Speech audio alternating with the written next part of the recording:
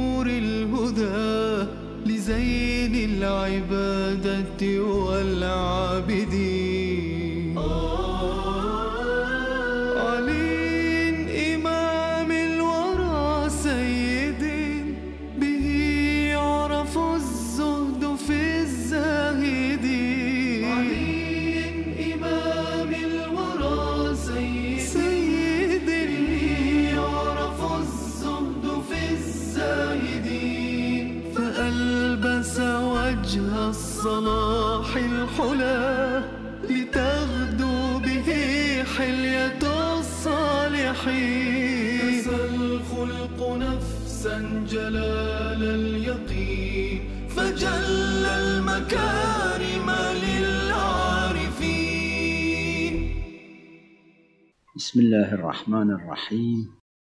اللهم صل على محمد وآله وحلني بحلية الصالحين وألبسني زينة المتقين. بسط العجز وكرم الغيم وإبقاء المعرفة إلى أن يقول صلى الله وسلم عليه. واستقلال الخير وإن كثر من قولي وفعلي واستكثار الشر وإن قل من قولي وفعلي هاتان خصلتان. من خصال الصالحين والمتقين.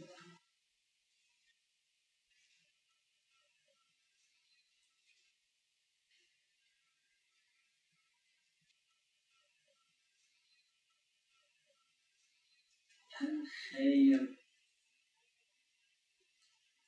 يصدر عن الإنسان والشر أحيانا يصدر من الإنسان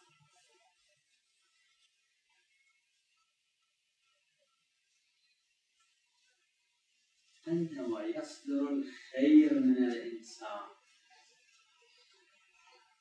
الإنسان يرى نفسه في مستوى أعلى من هذا الخير. ولا يرى أن هذا الخير الذي صدر منه هذا في مستواه هذه نكتة تربوية جدا عميقة. ولعلها تعتبر من النقاط التربوية الأساسية الأصلية اللي تتفرع عنها معالم الخير. الإنسان إذا صدر خير يستقل هذا الخير يعني يلقن نفسه ويلقن ويلقن ويكرر التلقين ويلاحظ اللوازم على الإصطلاح والملازمات والملزومات والتلازمات. حتى لا يعتبر هذا الخير الذي صدر عنه لا يعتبره شيئا كثيرا. مو فقط إلى هنا. بل يعتبره قليلا. استقلال يعني أن يحسب هذا الخير الذي صدر منه يحسبه قليلا. واستقلال الخير وإن كثر حتى إذا هذا الخير كان كثير. من قول وفعل. الخير الذي يصدر من الإنسان إما سبب هذا الخير أو نفس هذا الخير قول الإنسان.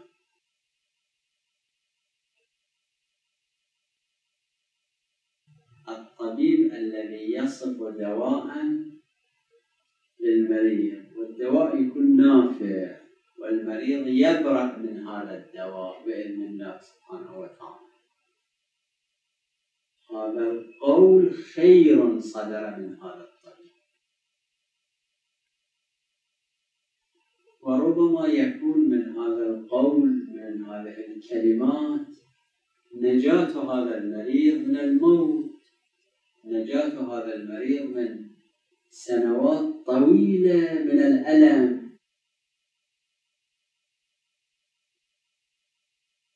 هذا الخير صدر من قوله أحيانا شخص يفعل فعلا هذا الفعل يكون خيرا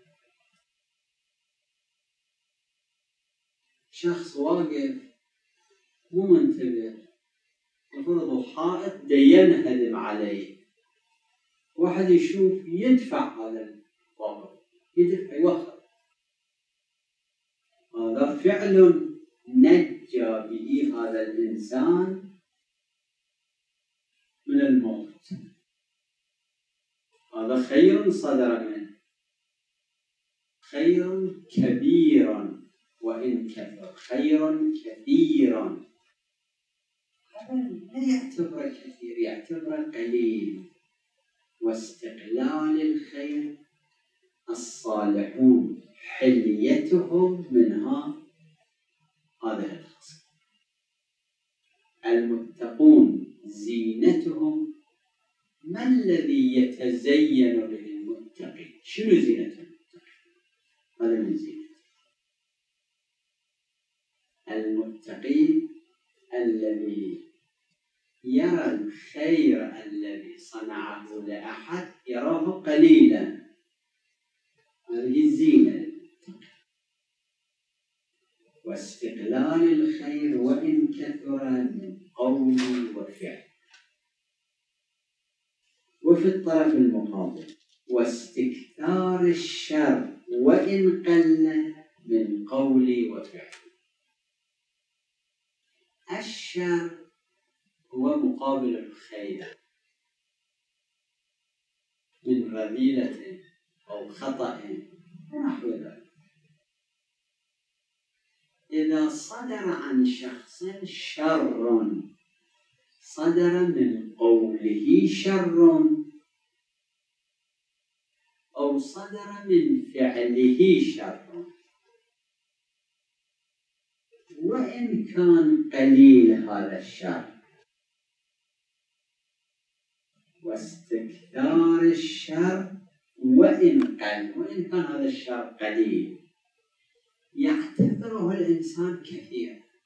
الشخص الذي صدر منه هذا الشر صدر من قوله هذا الشر صدر من فعله هذا الشر يعتبره كثيرا. وإن كان الشر هو قليل. لنفرض شخص في مجلس ذكر مزاح. هذا المزاح مس أحد الحاضرين وتألم من هذا كان يتصور أن هذا هذا الشخص يتألم. وما كان من المفروض أن يتألم. بس الرجل حساس. تألم من هذا النكتة من هذا المزاح. هذا الشيء قليل حيث إنه صدر مني.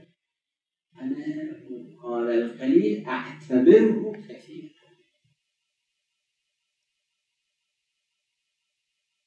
من قولي سواء صدر من قول الإنسان أو صدر من فعل الإنسان. وفرض فد ذبابه فد بقه على وجه أحد الأشخاص. وهذا ويا إيده هالشكل سوى حتى يوخر الذبابة أو البق. إيده لاحت وجه هذا الشخص خطأ. قصورا هذا شر. شر قليل. شر غير مقصود. شر مو عن تقصير. ولكن الإنسان يعتذر منه ويعتبر هذا الشيء كثيرا لا يقول هذا خموشي أنا مو عمدا ليش اعتذر منه؟ واستكثار الشر. المتقون من زينتهم الصالحون من حليتهم واستكثار الشر وإن قل من قولي وفعلي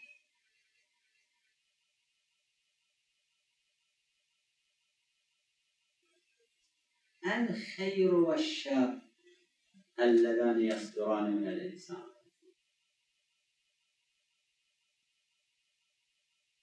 قد يكون بالنسبة إلى الله سبحانه وتعالى قد يكون بالنسبة إلى الناس. هذا الإطلاق يشمل الطرفين يشمل الجانبين. يعني قد يكون الإنسان يقوم ساعة قبل طلوع الفجر يتوضأ بإخلاص وخشوع ويصلي صلاة صلاة الليل مع مراعاة الجهات المتعددة لصلاة الليل هذا خير صدر عن هذا الإنسان الله سبحانه وتعالى أمره بصلاة الليل أمر استحبابي مو إلزامي هذا الرجل قام وأتى بصلاة وأكو في الأحاديث أن الله سبحانه وتعالى يباهي الملائكة بعباده. يقول شوفوا ملائكتي. أنا ما أوجبت عليه صلاة الليل. ما أوجبت عليه الصوم المستحب. في باب صلاة الليل لكن بعض العمومات في بالي ما أوجبت عليه حسن الخلق في بعض الموارد حسن الخلق في الموارد الواجب ما أوجبت عليه الإحسان. ما أوجبت عليه أن يسلم على أخيه المؤمن. ملائكة الشكر ما أوجبت مع ذلك لأنه علم أني أحب. أعلمته أني أحب. صلاة. بلغه أني أحب صلاة الليل قايم ترك نوم. راح. ليس هذا خير صدر من الإنسان تجاه الله سبحانه لا يعتبر شيء كبير. لا يقول منو مثلي لا يفكر في نفسه منو مثلي. كم واحد اكو مثلي هالشيء يصلي صلاة الليل حتى إذا كثير يستقل. أو صدر منه والعياذ بالله ذنب أو صدر عنه مكروه الله سبحانه وتعالى حرم الكذب. كره النوم بين الطلوعين مثلا. صدر ولو ولو كان شيئا قليلا. النوم بين الطلوعين هو الله ما حرم جعله مكروه الله لا يحب هذا من غير نهي تحريم. فإذا إضطر ونام بين الطلوعين مثلا يعتبر كثير. ليعتبر هذا لاحظوا العديد منكم من أهل الأدب والعلم والمعرفة والقرن الكلمة تقول استقلال.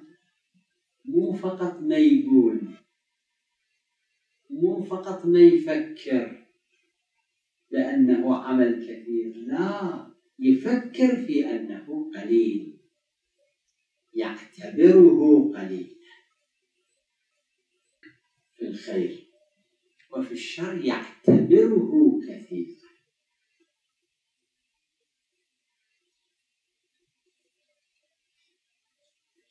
أما بالنسبة إلى الله سبحانه وتعالى فلا شك أن كل ما يصدر من أي إنسان مهما بلغ من المقام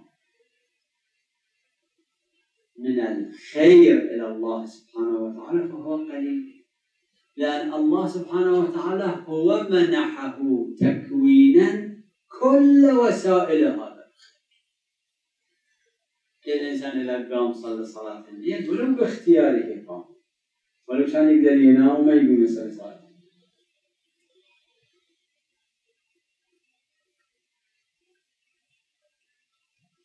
ولكن الوسائل المعدات الأسباب التي أدت إلى أن يقوم ويصلي صلاة الليل يتمكن أن يصلي صلاة الليل من نفسه من الله سبحانه لو هذا الإنسان كان مجنون كان يقوم يصلي صلاة الليل هذا عاقل يقوم يصلي الليل هذا العقل من من عاقل هو سوى نفسه عاقل؟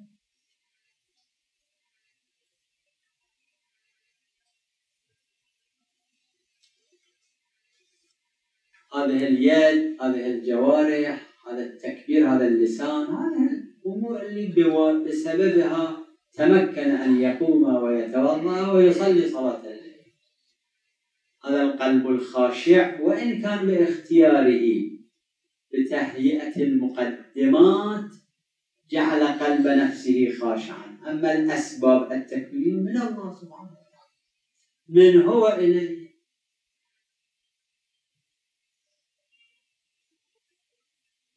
أكو حديث عن الإمام أمير المؤمنين صلوات الله وسلامه عليه سواء في نهج البلاغة أو غير نهج البلاغة. ما إذا الملائكة يعرفون الله حق معرفته. الله سبحانه وتعالى حق معرفته. لا ملائكة لا جن لا إنس ما يعرفون ما عرف الله إلا أنا وأنت يعني والملائكة فيهم كما في نهج البلاغة هذا في نهج البلاغة.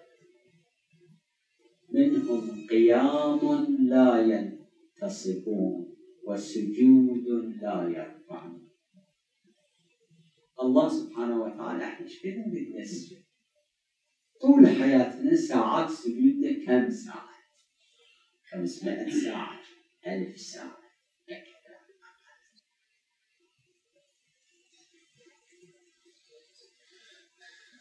الله سبحانه وتعالى عنده ملائكة هذول خالقهم.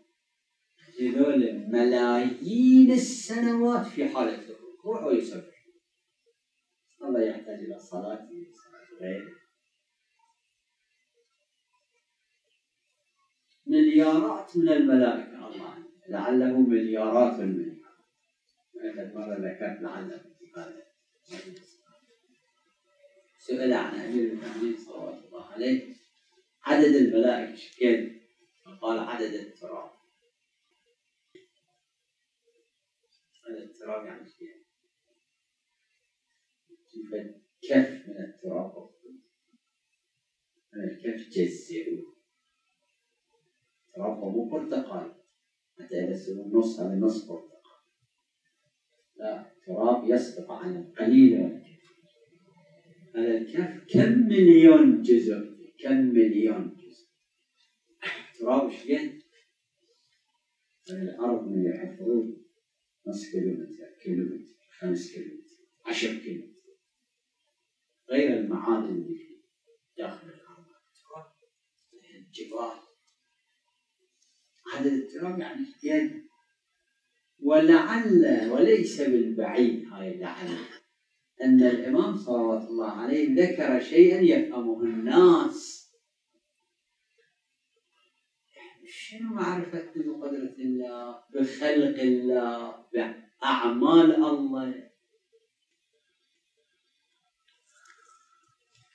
الله عنده هيك. هكذا ملائكة خلق ملائكة خلقهم. شنو عدد هالملائكة منهم؟ هاي كلمة منهم يعني قسم من الملائكة هذول كم ألف كم مليون كم مليار كم مليون مليار. أنا إلى سجن السيدة شوي طولت. لو الإنسان يلاحظ هالأمور يخجل أصلا من سجدته. شوف هاي مو مناسب. الإمام عليه السلام صلى الله عليه وسلم في حديثه يقول إذا الملائكة الملائكة اللي هالشكل يعبدون. في سجود. ألف سنة في سجود. وألفين سنة في سجود. وعشرة آلاف سنة في سجود. من قبل أن يخلق الله آدم أبا البشر على نبينا وعليه وعليه الصلاة والسلام هؤلاء الملائكة في السجود. وإلى اليوم في السجود. وإحنا نموت ونروح هذول بعثهم في السجود. ما ينفع سجدة واحد. بعد ألف سنة هم في السجود وبعد عشرة آلاف سنة هم في السجود واحد اثنين ألف. قسم في الركن. قسم في الركن. إيش قد أنا أريد اسمع إيش قد أريد أرجع؟ علماء نقل إنه قال أنا شفت أكثر من شخص. هؤلاء كانوا يصلون صلاة الليل كل يوم. وكان في كل ليلة في صلاة في ركعة الوتر الركعة الأخيرة. في القنوت يقرأ دعاء أبي حمزة وفي السجود السجدة الثانية من ركعة الوتر يقرأ دعاء كميل مو ملائكة البشر عندهم أهل عندهم عائلة عندهم مشكلات اقتصادية عندهم مشكلات سياسية عندهم مشكلات صحية عندهم أقرباء عندهم هذا اللي قالوا شافوا اللي ما شايف اللي ما قايل أكثر مما تشوف بس اللي يصلي الصدق لله سبحانه وتعالى ما يجي يعرض على هذا اللي الإنسان يدري به شيء نادر شيء قليل إذا أنا وأمثالي بدينا يتوفق لصلاة الليل شوية متوجه هذا الشيء.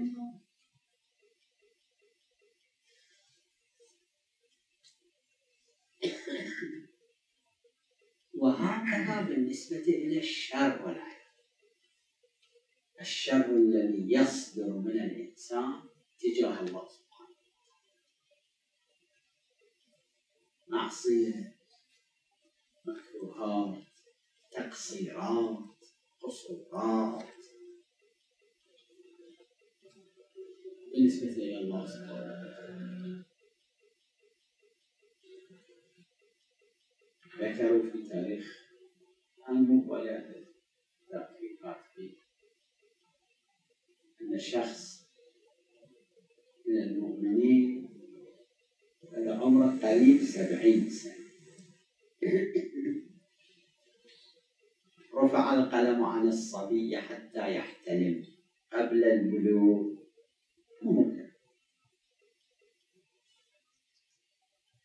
اللي سبعين سنة عمره. 14 سنة 15 سنة قبل البلوغ الحد الأعلى إكمال 15 سنة. الباقي 55 سنة 56 سنة 54 سنة.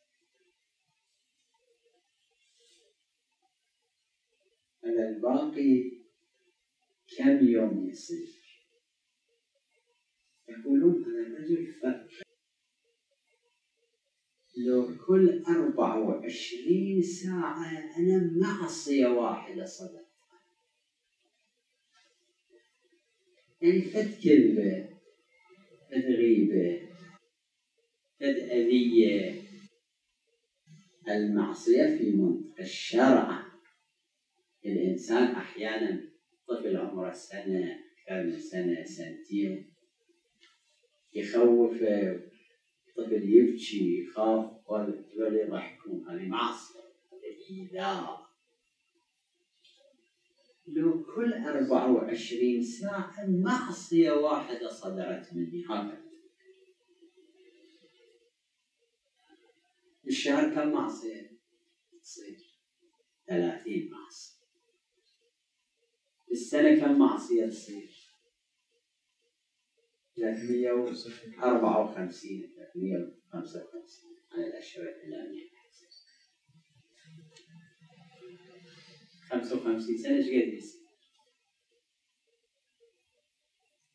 كم يوم يصير 55 سنة؟ شاف يصير تقريبا 20 ألف يوم كل يوم مو أكثر من معصية واحدة فإذا أنا الآن بتت أواجه في صحيفة السيئات على الأقل عشرين ألف معصية. مكتوبة بأحرف من نار.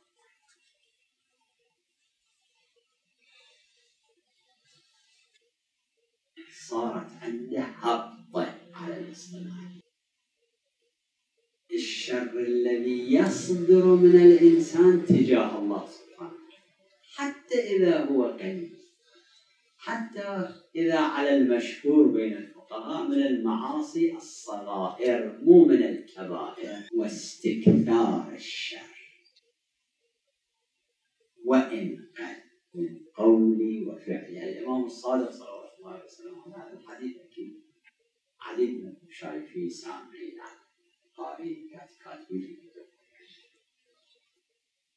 في حديث له ينقل قصة كلش مختصرة. مدري سطر سطرين عن رسول الله صلى الله عليه وسلم. بس عظيمة عظيمة عظيمة جدا. أن رسول الله صلى الله عليه وسلم ذات مرة كان مع أصحابه.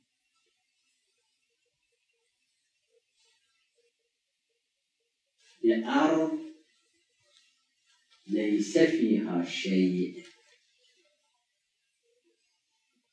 لأرض قرعاء. النبي صلى الله عليه وسلم قال للأصحاب اجمعوا. اجمعوا حطب قالوا يا رسول الله ماكو هنا يعني أرض فيها أشجار فيها نخيل. يقطعون يقطعون حطب. خشب يجي قال رسول الله ماكو شيء أكل فد نبتة هنا فد شوكة هنا عشبة صغيرة هنا جابوا صارت هواية النبي صلى الله عليه وسلم قال لأصحابه الذنوب هالشكل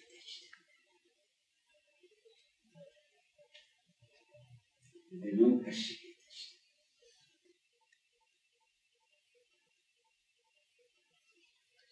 الإنسان. يواجه هذه الأمور في يوم ما. قبل لا يواجه شوية يستعد. من الاستعداد أحيانا من عندكم وقت من عندكم مجال في سفر في حضر. إنسان يخلي قلم وكاغذ إن شاء الله بعيد عنكم هو الإنسان مبتلى بالنفس بالشيطان بالأهواء خلي تتقلم وفغل تشيل اللي صدر منه اللي هو يعتبره على قدر عقله وفهمه يعتبره شرا صاعدا منه إلى الله.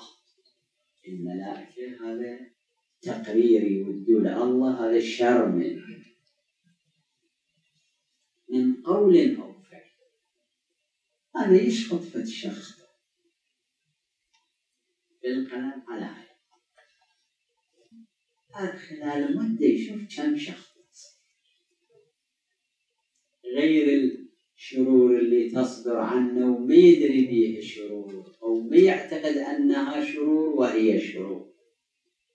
قاصر أو مقصر. مقصر معرض للعذاب والعياذ بالله يستحق العذاب عذاب حتى إذا قاصر مو معرض للعذاب. نقص هذا الإنسان هذه الأمور بحاجة إلى تصميم تصميم وإلا ما يوفق. الشيطان ما يخلي الإنسان نفس الأمارة بالسوء مدخل للإنسان قوي ماخذين الإنسان متخصصين هذول. أنا وأمثالي إنسان ضعيف غير متخصص. والشيطان متخصص في هذا فوق التخصص. والنفس الأمارة بالسوء متخصصة. بالدليل أنه الإنسان إيش قد؟ هو ونفسه هو مع نفسه إيش قد يشط بعدين ينتبه بعدين يلتفت. هسه عن تقصير أو عن قصر يريد تصميم يريد عزم. الإمام الرضا صلوات الله عليه في رسالته يقول إنما هي عزمة. تنوين للتأكيد. يعني عزمة قوية ولا بس الإنسان اللي ما عنده فلوس ما يعزم يشتري دار يشتري بيت يقدر يشتري بيت. هذا بعد خمسين سنة ما يشتري. أما إذا يعزم شوية منه شوية منه يجمع شوية منه يقترب منه شوية يقلل من أكله من لباسه من مسكنه سفره من كذا. شوية شوية شوية شوية يقدر. في يوم ما فيها يشتري دار دار وين والشيطان وين؟ دار وين؟ ونفس الأمارة بالسوء وين؟ هذه من أمهات أصول الأخلاق استكثار الشر واستقلال هذا الذي يصدر من الإنسان بالنسبة إلى الله سبحانه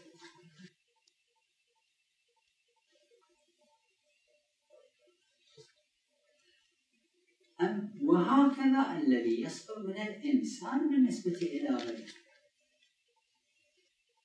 بالنسبة إلى الآخرين بالنسبة إلى من بينهم معه تبادل حقوق سيدتنا ومولاتنا فاطمة الزهراء صلوات الله وسلامه عليها أسوة أسوة للأئمة لأئمتنا مو أسوة لنا. الحديث المعروف عنها سامعين خلال هالأيام قبل. إنها من أول الليل إلى طلوع الفجر إلى طلوع الفجر. كانت تدعو لجيرانها وما دعت لنفسها. هذا الجار من بهالبيت. أصلا إحنا ندري جيران من منو كم واحد بهالبيت كم واحد بهالبيت كم واحد بذاك كم رجل؟ كم امرأة كم طفل؟ كم طفل؟ حتى ندعو له. هذه أسوة سلام الله تدعو لهذا الرجل ولهذا الرجل ولهذا ولهذا الحمار ولهذا ولهذه البنت ولهذا ابن ثم الدار ثم الدار تدعو لدنيا لآخرته لرزق لعافيته لطول عمره مش ندري من إيش وقت كل واحد يقدر يدعو ألوف الدعوات ولما تسأل صلوات الله وسلامه ليش ما دعيتي لنفسك؟ سمعت أبي رسول الله صلى الله عليه وسلم مضمون يقول الجار ثم الدار. ما وصلت إلى ثم ليش؟ مو معنى الجار ثم الدار يعني الدار هم لازم تبطي. لا يعني ذاك مقدم. إذا هذا مقدم خل كل الوقت أصب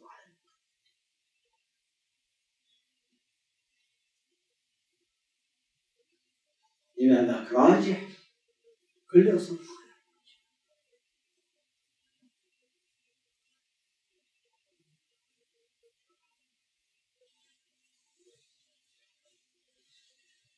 الجار له حق على الإنسان. هسه الله سبحانه وتعالى تفضل على عباده ويعرفهم. يدري إذا الواجبات كثرها عليهم. ما يصير الواجبات قليلة قليلة شيء الإنسان؟ كثير من الناس؟ القليل الشيطان ما يخليهم من نفس الأمارة بالسوء ما تخليهم يتوفقون.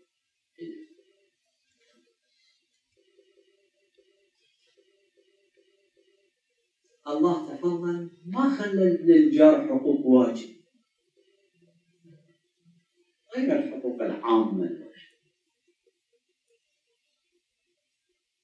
ما زال جبرائيل حديث رسول الله صلى الله عليه وسلم يوصيني بالجار حتى ظننت أنه يؤثر.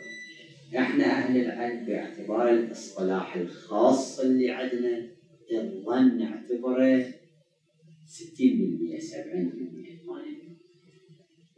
80% أما الظن في القرآن بمعنى اليقين بالمعنيين يعني هذا من أضداد اللغة بمعنى اليقين وبمعنى الشك. يظنون أنهم ملاقو يعني يعلمون. حتى ظننت أن ما زال جبرائيل يوصيني بالجار حتى ظننت أنه يورثه. يعني تيقنت يعني اشكل استغفر الله لأن هذا الظن في هذا اصطلاحنا هذا في الروايات قليلة مو ماكو قليلة. في الروايات إما شك أو اليقين في اللغة شك. حتى ظننت أنه يورثه يعني اليوم هم يجي جبرائيل يقول هل مقدار من الإرث النسبة المئوية يكون للجار أي واحد يموت وفرضه 10% 20% خمس ثلاث سدس أشهر لازم يعطى للجار هذا الأمر المستحب. الصديقة الطاهرة فاطمة الزهراء صلوات الله عليها. إلى الفجر تصرف وقتها في الدعاء. له الحقوق وين إحنا على حقوق الواجب حقوق الزوجة حقوق الأولاد حقوق الوالدين حقوق الأرحام حق البايع على المشتري حق المشتري على البائع حق الأستاذ على الطالب حق الطالب على الأستاذ. حقوق ندري شنو الحقوق الواجب. جامعية لاحظية واجب متصور مو واجب في صحيفة الأعمال والعياذ بالله في القبر نشوف عجيب. هذا واجب كان موجود هذا واجب هذا واجب هذا حرام كان وين بالآخرة الإنسان يتعلم اليوم عمل ولا حساب. اليوم وقت العمل اليوم لازم وغدا حساب ولا في وقت الحساب يتعلم شنو الواجبات المحرمة.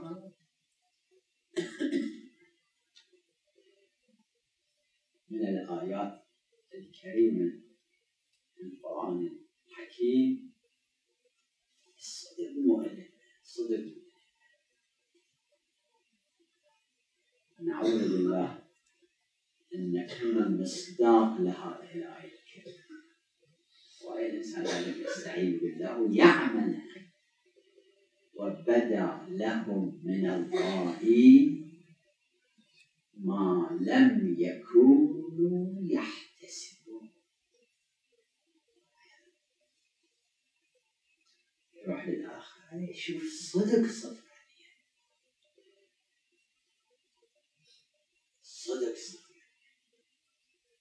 لو موت يكون الإنسان من الحزن يموت يعني يكون أكيد أكيد ما شايف هذه الرواية بالنسبة إلى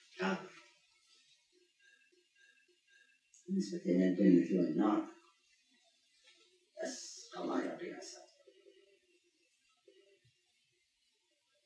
مهما يعمل الإنسان من خير تجاه الله أو تجاه الناس جدا هذا حتى إذا جنابك في المستقبل تمكنت ألف أعزب زوجتهم بكل نفقاتهم. كل مصارفهم انت منين جبتهم غير الله أنطاك فلوس. تقول أنا تعبت. ما يخالف. تعبت. تعبت بشنو؟ بذكائك بعقلك. تعبت. من أنطاك هذا الذكاء؟ من أنطاك هذا العقل؟ من أنطاك هذا النشاط؟ هذا الله. إذا هذا فضل من الله عليك. إذا ألف أعزب زوجتهم بكل نفقة هذا خير كثير. بس استقله. مو شيء. إذا تنظر إلى الشخص الله سبحانه وتعالى أمرك. واجب إذا تنظر إلى الله سبحانه وتعالى أمر الله به وكل الوسائل هو ما. أي هو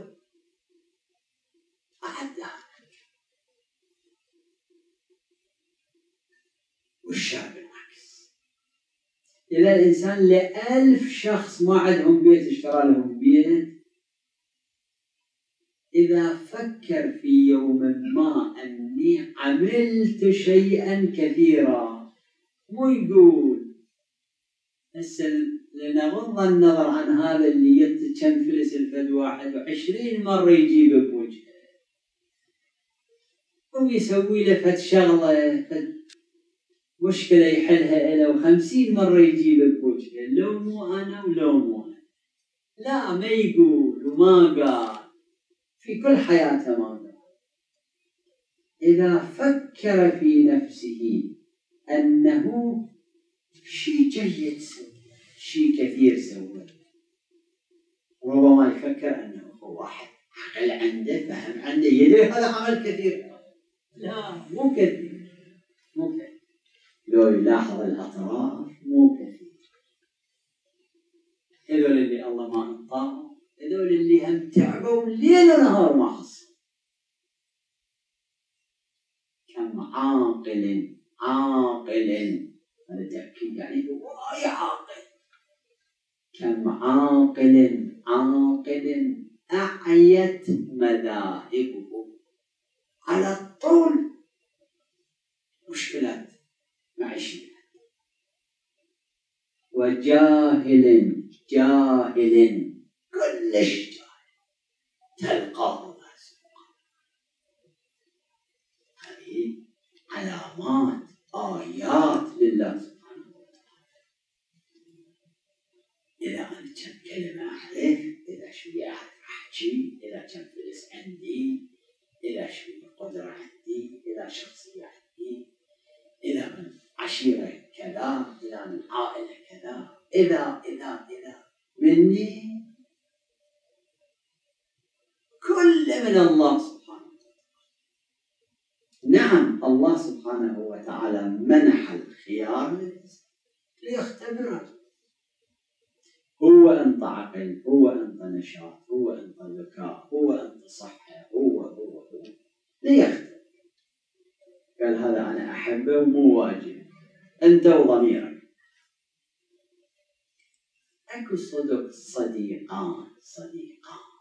أوفياء جنابك مع شخص من الناس صدق وفي. قلبك ما ينطق لا تفي. كل إنسان قبل صديق قريب منها. وتعرف أنه يحب فلان شو ما تسوي؟ أليس الأجدر بنا أن نفكر هذا مع الله سبحانه أن نفكر هذا مع المعصومين صلوات الله مع أهل البيت عليهم الصلاة والسلام اللي وجودنا لأجلهم. يا أحمد لولاك.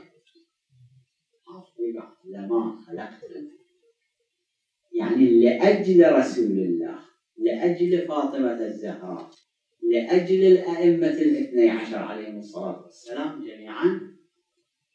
الله خلق ناس الله تفضل عليه الله المتقون يذهب بهم إلى الجنة لأجلها ما خلق السماوات ولا أرض ولا قمر ولا شمس ولا قمر.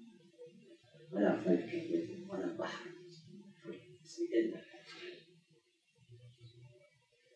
لا نكون أوفياء. إذا علمنا أن رسول الله صلى الله عليه وسلم أن فاطمة الزهراء صلى الله أن الأئمة عليهم الصلاة والسلام يحبون الشيء الفلاني. مو واجب. يكرهون الشيء الفلاني. مو حرام.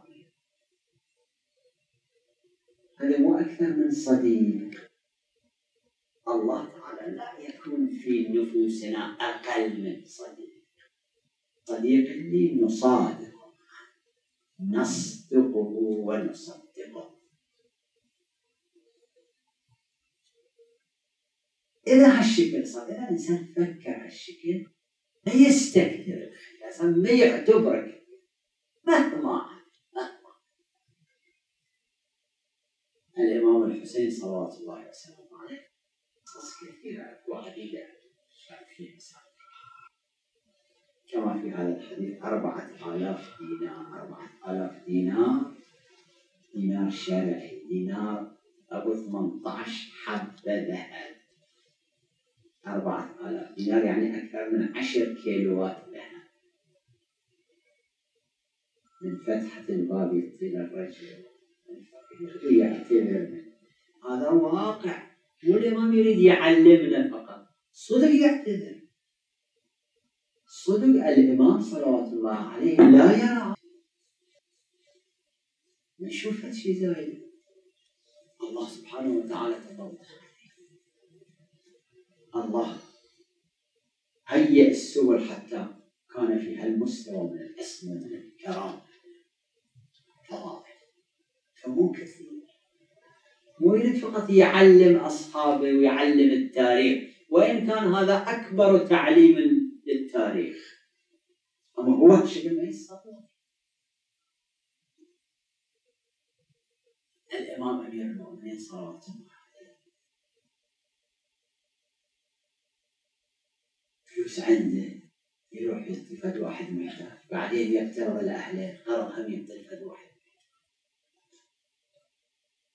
ويعتبر كثير هسه أولئك المعصومون في مقامهم في مقام عصمتهم. حتى غير المعصومين. الإنسان إذا شوية يلاحظ شوية يدقق شوية يقرأ الكتب شوية يقرأ تاريخ الأتقياء تاريخ العلماء. صدق يخجل من نفسه. صدق يستحي.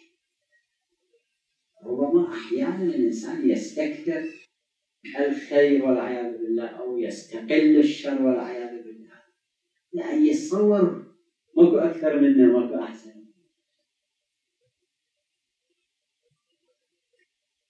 فإذا إنسان في صلاة الوتر يصلي يقنت بدعاء أبي حمزة.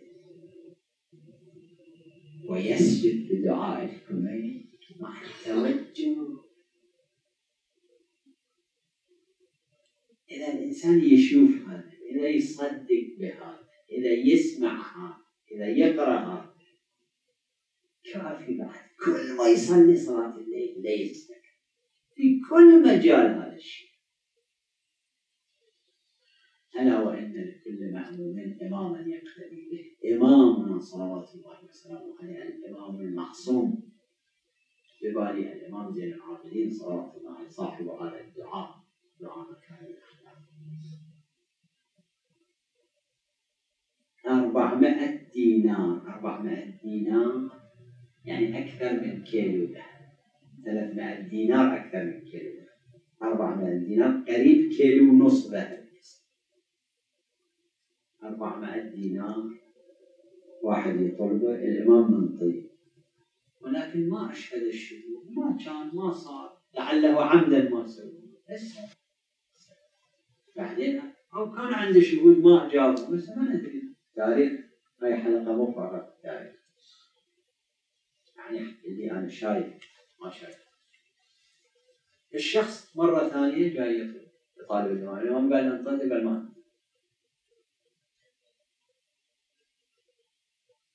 جرى الإمام للمحكمة. القاضي قال له عندك شاهد؟ شنو كان الشاهد؟ كان؟ صار القرار يحلف الإمام عليه الصلاة والسلام. حسب موازين القضاء. مسألة معروفة. الإمام ما حد نعطي 400 دينار ما حد نعطى مرة ثانية 400 دينار قريب كيلو بعدين سئل كيف يا ابن أنت خممت كان حلفت. وحلف صدق. الإمام قال مضمون الحديث. الله تعالى اسمه أعظم عندي من الأربعمائة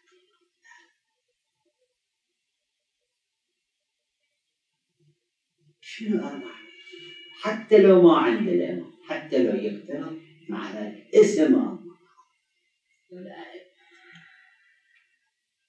نقتدي بهم نتعلم الإنسان إذا شوية يتأمل إذا شوية يلاحظ نسبة الصلاح نسبة التقوى ترتفع. تصير شوية شوية. المواجهة مع النفس ومع الشيطان تكون عنده أقوى. روحيته تكون أحسن. اطمئنان ألا بذكر الله تطمئن القلوب؟ هذا الاطمئنان اللي يصنع كل شيء. أي واحد يعصي أي واحد؟ يذنب أي واحد يأتي الخطأ يأتي الرذيلة؟ هذا اللي ضعف النفس. إذا اطمئنان عنده ما بحاجة إلى مقدمات على الاصطلاح العلمي مقدمات وجود هاي مقدمات وجود. واستكثار واستقلال الخير وإن كثر مهما يكون من قول وفعل. واستكثار الشر. وإن قل من قول وفعل. نسأل الله سبحانه وتعالى ببركة البيت يوفقنا لهاتين الخصلتين. صلى الله على محمد وعلى كسى الخلق نفسا جلال اليقين؟